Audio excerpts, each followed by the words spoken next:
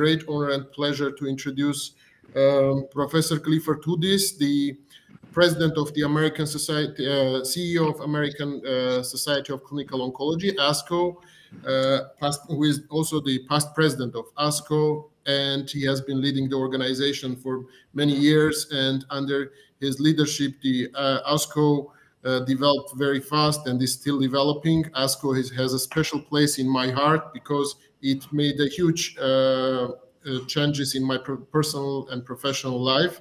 Thank you very much, Dr. Hudis, for being with us and for finding a time. Uh, let me first give the floor to Dr. Hudis. He is going to share uh, the incredible work ASCO is doing uh, on the field of pediatric cancer and drug development, and then we'll talk about the great work PanCare is doing. Okay, thank you very much. Thank you uh, very much. I trust you can hear me. Um, so um, I am going to uh, share just a brief overview of ASCO's efforts in drug development globally, but I have to start by pointing out two obvious things. The first is that uh, while childhood cancer is a component of what ASCO is focused on, uh, of course, it was founded ASCO by uh, adult oncologists and indeed, much of what I talk about will have to be focused on that. The second is uh, ASCO was founded in the United States in 1964. And as a consequence, um, uh, it had a very US focused uh, perspective for many years, although in recent years, as you will hear, uh, that has been expanded. And I will point out that uh, our board of directors requires the presence of a pediatric oncologist at all times.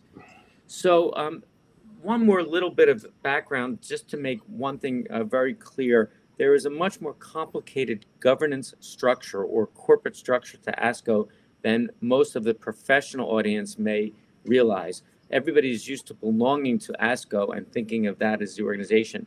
But for this discussion, I want to highlight one key point, which is that there is a separate ASCO Foundation, and its name is Conquer Cancer and its role in um, uh, our global efforts is critically important, linked but distinct. And I want to just make sure that the audience appreciates that subtle but important difference.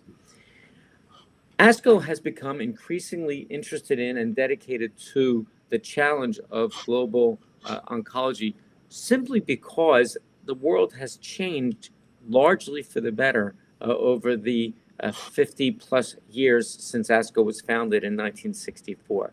Despite the continuous onslaught of depressing and challenging bad news, there are some basic truths that the last two centuries have revealed on a global scale, and they're worth highlighting. Uh, world literacy has risen, world income has risen, uh, the number of people living in abject poverty has fallen, and so on. And the reason that that economic information is so important to us as oncologists is that the most common solid tumors, especially of adulthood, rise steeply when income, specifically gross domestic product, rises in a country. And that, in a nutshell, is the challenge that ASCO is trying to rise to meet along with many others around the world. Because while countries move into nominal middle class, the incidence of breast, colon, prostate, and lung cancer in particular rise in lockstep. And that means that there'll be huge and growing demands for care, cutting edge care, Western style, high quality care uh, around the world will be the expectation. And our opportunity is to meet that need. And that's the reason that uh, for the last more than 10 years, ASCO has increased its dedication and focus to uh, global oncology. In that regard, I would point out that fully one third of the membership of ASCO is now uh, from outside the United States. And as an aside, uh, ref- referencing the discussion just heard on low and low middle income countries, all oncologists who wish to belong to ASCO from low or low middle income countries can do so with no charge and they receive full member benefits. And we see this as a nod to the future, because of course uh, we are optimists and expect those countries to rise uh, in terms of income in the years ahead. and some of those members who are now free will, of course, presumably be eligible to pay dues in the future. Now, uh, stepping a little more into the weeds, uh, ASCO's key efforts are focused on three mission pillars research, education, and promotion of the highest quality and equitable care. And we do that fundamentally to drive the improvement, the continuous improvement in global oncology care. Uh, among our uh, our three mission pillars of research, education, and quality, we have seven programmatic areas that we focus on: grant making, clinical research, meetings, publications, professional development for the field, advocacy, and practice support. And it's not hard, I'm sure, for you to imagine the specific projects within each of those seven areas that truly constitute ASCO's work and our effort. But what I want to highlight in the next few minutes is two specific areas. One is our global efforts in general, and the second is the specific research that we do, not because it's narrowly relevant to pediatric oncology, but because it represents a model for how to do lower cost uh, drug development. And it certainly could be applied, especially in the context of relatively rare diseases like uh, childhood cancers. So, um, just backing up for a moment, the genomic revolution, at least in the West and certainly in the United States, has led to the widespread use of genomic testing as part of routine care uh, for patients with advanced solid and liquid tumors. Uh, and this includes children down to age 12 in, in this case. And uh, the result of that, of course, is that doctors will identify mutations and uh, genomic alterations that are associated with response to targeted therapies. However, those drugs are most of the time FDA approved in a limited way based on histology. And in this case, genomic alterations for a different histology would motivate a doctor to try to give those drugs. And they face challenges again because they're off label. And there are versions of this challenge throughout the world, of course. So the ASCO Targeted Agent and Profiling Utilization Registry, or TAPUR, is essentially a tumor agnostic clinical trial currently enrolling patients with more than 40 different tumor types and more than 85 different targets onto 18 treatments. To be eligible, the treatment has to be available in the US uh, with FDA approval, but this use in this trial is so called off label. There have been 546 specific cohorts created now since the trial opened. Each cohort is one tumor type with a specific mutation and a targeted therapy. There are 188 open today.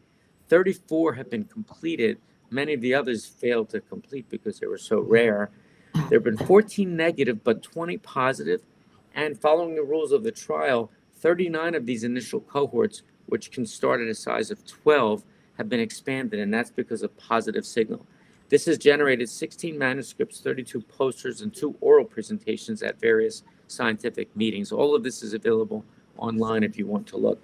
I'm highlighting this today because this is a model of easy eligibility, distributed uh, enrollment at hundreds of sites, and low uh, impact data collection that's inexpensive.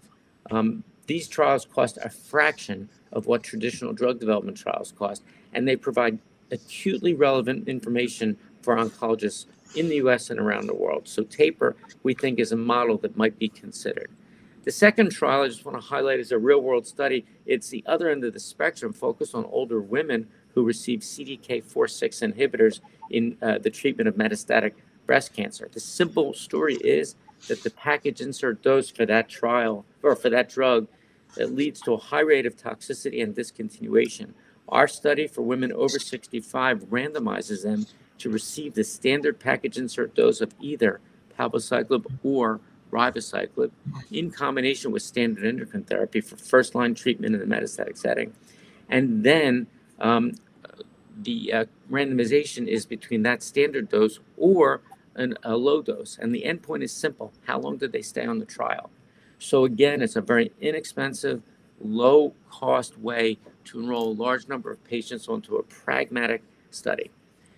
So, uh, I want to just switch for the last moments here and uh, emphasize the way in which we're trying to help uh, our colleagues around the world engage in this kind of work for themselves or the future. And that's through the establishment of what we call ASCO's regional councils. And we have currently four of these running. The first was in Asia Pacific in 2019, the second in Latin America in 2021, Sub Saharan Africa in 2022, and we just embarked on the Central and Eastern European uh, Regional Council in 2023. The goal is to um, uh, solicit local leaders in uh, a number of countries in each of those regions to increase our engagement uh, through a re- regional approach, increase the international member involvement, and help us understand the key priorities of each one of the regions. So, for example, ASCO Pacific has launched a regional education meeting called ASCO Breakthrough. We run our International Cancer Corps program in Malaysia with their guidance, and they've developed a leadership program um, similar to, to the one that you participated in uh, for Asia Pacific. We also have a program called Every Grant where uh, sponsors can uh, enable us to run a local grant competition uh, and identify worthy research studies in those regions. And this too might be an opportunity in the context of today's Oncothon. Uh, we have similar uh, programs, a little not a little less developed in Latin America, Sub-Saharan Africa, and as I said, Central and Eastern Europe. So uh, that was a quick tour through ASCO's um, international efforts as well as our uh, drug development efforts. I should close by pointing out one key thing. For a professional society, the last thing we want to do is compete with the research efforts of our members. So one of the rules for ASCO is we only do a clinical trial when there is no other resource or program able or willing to do it and it has immediate pragmatic clinical impact. So uh, again, thank you for the opportunity to present our, our work and to participate in this exciting uh, program today. Thank you so much, Professor Hudis. Thank you very much again and I'm saying this on behalf of many people, many members of the ASCO and other stakeholders who are benefiting from the ASCO's work and your work, what you are doing. You mentioned also Conquer Cancer Foundation. It it made some uh, uh, for many people, hundreds, thousands of people. It was really a life changer, including for myself and many others. And uh, thank you again for being today, uh, for having time uh, for this talk and for supporting us with your presence and for your great uh, presentation about the problem. Thank you very much.